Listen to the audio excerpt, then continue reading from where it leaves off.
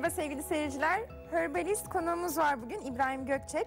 Bize bitkilerin çeşitli faydalarını anlatacaksınız. Evet. Ben hemen şu nedir sormak istiyorum. Saksıda bir bitki getirmişsiniz bize. Evet bu aloe vera. Aloe vera'nın bilinen 400 türü var.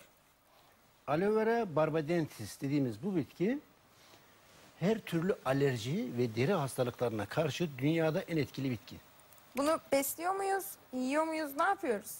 Yok. şöyle. Şimdi bu aloe vera'nın bu yaprağı şöyle kopardığınızda içerisinde böyle zamk gibi sıvı bir madde var. Evet. Bu jel e, özel bir şurup hazırlıyoruz. Balla ve 19 çeşit bitkiyle özel bir karışım. Amerika Birleşik Devletleri'nde Louis Pauling Enstitüsü'nün yapmış olduğu klinik araştırmasında bağırsaklardaki mantara karşı dünyada en etkili bitki olduğu belgelenmiş. Klinik araştırması. Ayrıca Almanya, Alman Sağlık Bakanlığı Avrupa, Amerika, Asya ve Afrika'da aloe vera kullanan yani bundan yapılan jeli kullanan 2,5 milyon insanla direkt olarak yapılan soruşturma sonucunda mide bağırsak rahatsızları, deri hastalıklarına iyi geldiği, alerji Kozmetik önlediği- sanayide de kullanılıyor değil mi bu bitki? Şampuanlarda falan duyuyorum aloe vera özlü diye ama Evet kullanılır yani şampuan yapımında kullanılır, krem Belki yapımında. sabun. Sabun yapımında birçok kozmetik birçok ürün kullanılır, yapılıyor. Bunun özelliği şudur.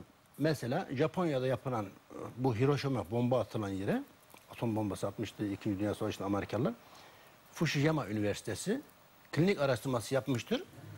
Fukushima Üniversitesi'nin yapmış olduğu klinik araştırmasında aloe vera'nın hücre yenileyici özellikleri belgelenmiştir. Yani dokuyu yenileyici. Yani eski hücreleri atır, hızlanıyor vücut. Yeni hücre, hücreyi yeniliyor, bünyeyi yeniliyor, tazeliyor, gençleştiriyor bir çeşit. Ben bir şey İnsana zindelik, istiyorum. dinçlik veriyor. Mesela bazı bitkilerin bazı hastalıklara iyi geldiğini duyuyoruz. Ben alerji nedir? Nasıl oluşur? Hangi bitki alerjiye iyi gelir? Sizden böyle güzel tüyolar alalım. İzleyicilerimize alerji- faydalı olalım. Maalesef alerji nedir? Bugün çağımızın vebası diyeceğimiz salgın şeklinde yayılan çok tehlikeli bir hastalıktır. Alerjinin sebebi şu. Normal olarak vücudumuzun histamin kortizon dengesi var. Böbrek üstü bezeleri kortizon, mast selin dediğimiz ana hücreleri histamin salgılar. Vücudun salgılamış olduğu histamin ve kortizon dengededir. Nanogram dahi eksik veya fazla olmaz. Fakat normal olarak her insanın bağırsağında 2 kilo bakteri var. Diyelim bu 1 kilo, şu da 1 kilo. Yani 2 kilo her insanın bağırsağında bakteri var. Bu bakterinin yüzde 99'u faydalı bakteridir. Ne işe yarar faydalı bakteri? Vitamin üretir. B6 vitamini ve 12 vitamini folik asit. Fakat kişi antihistaminik, antidepresan, kortizonlu vesaire vesaire ağrı kesici ilaç kullanmışsa kullanılan kimyasal ilaçlar bağırsaklara atılan mini atom bombası gibi faydalı bakteri yok eder. Arı nasıl bal üretiyorsa faydalı bakteriler de çok çok önemli, çok kompleks B12 vitamini ve B6 vitamini üretir. Neyle desteklemeliyiz biz bunu? Ha, ne dedi sıkıntı? Hangi bitkiyle destekleyelim? Aloe vera. Dünyada mantara karşı en etkili bitki. Bununla ilgili çok çeşitli klinik araştırmalar var. Ben burada sadece birkaçından bahsettim. Mesela 1973 yılında Mısır'da yapılan klinik araştırmasında sedef, eksema, akneye karşı etkisi ispat edilmiştir. Aloe vera'nın mı? Aloe vera'nın. Mesela sedef. Sedefle ilgili e, Doktor Simoncini İtalya'da araştırma yapmış. Sedefin sebebinin bağırsaklardaki mantarlardan kaynaklandığını belgelemiş. Peki romatizmal hastalıklara nasıl etki ediyor? E, romatizma- Başka bir bitki mi? Evet o başka tabii ayrı bir konu. Gelelim sevgili izleyicilerimize güzel güzel tiyolar verelim. Evde kendileri hazırlayabilecekleri formüller Hı. söyleyelim. Şeytan pençesi kökü. Afrika'da, Güney Afrika'da yetişir. Kakao gibi. Tadı da kakaoya benzer. Biz nerede bulacağız bunları? Bakabilir miyim? Biz getiriyoruz. Sadece bizde bulunur. Başkasında bulunmaz. Yok piyasada yok. Yani bu bitki bilinmiyor, tanınmıyor. Tadına baksam. Tadına Acaba- bakabilirsiniz.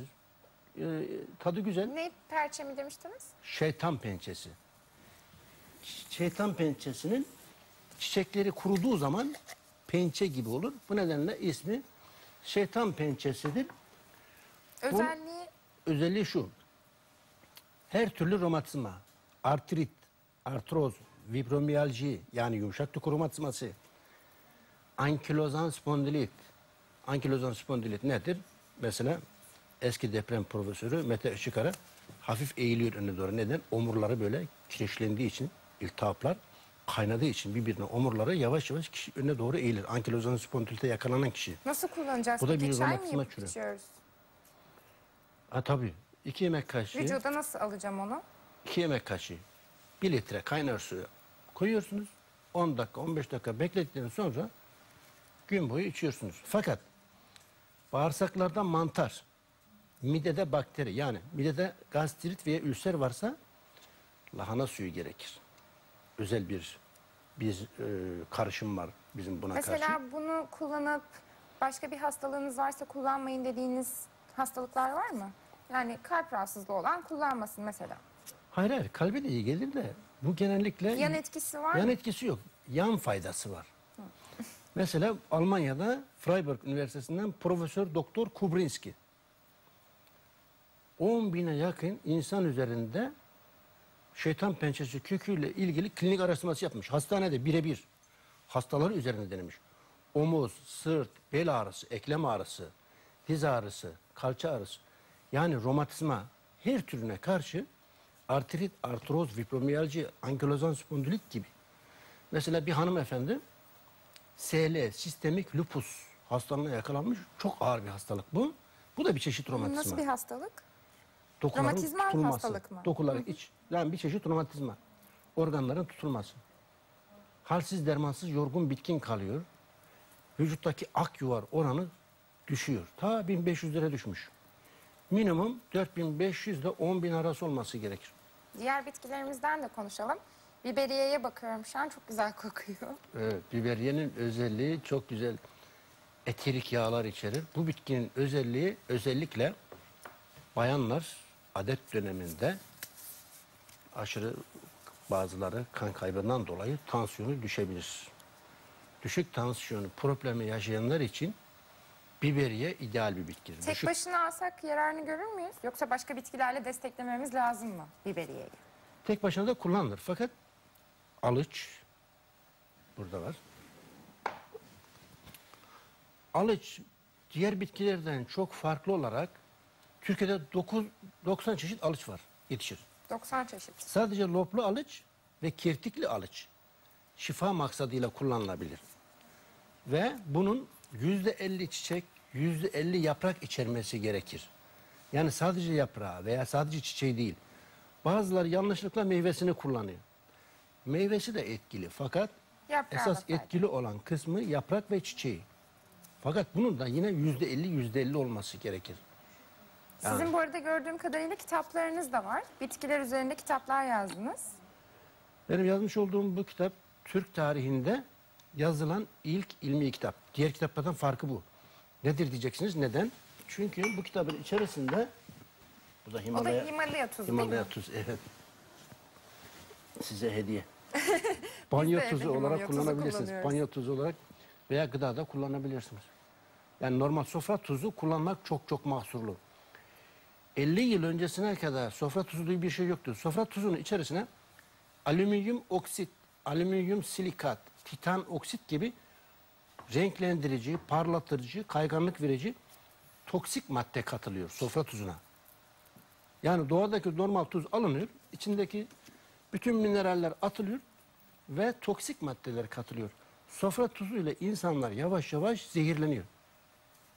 Maalesef. Avrupa'da Çok ve Amerika'da duyuyoruz. lokantalardan sofra tuzu kalktı. Artık oralarda e, Himalaya tuzu kullanılıyor. Tabii. Çünkü sürekli ve düzenli olarak sofra tuzu kullanırsa kişi damar sertliğine, asidoza, ödeme sebep olur. Bu da mikropları azdırır.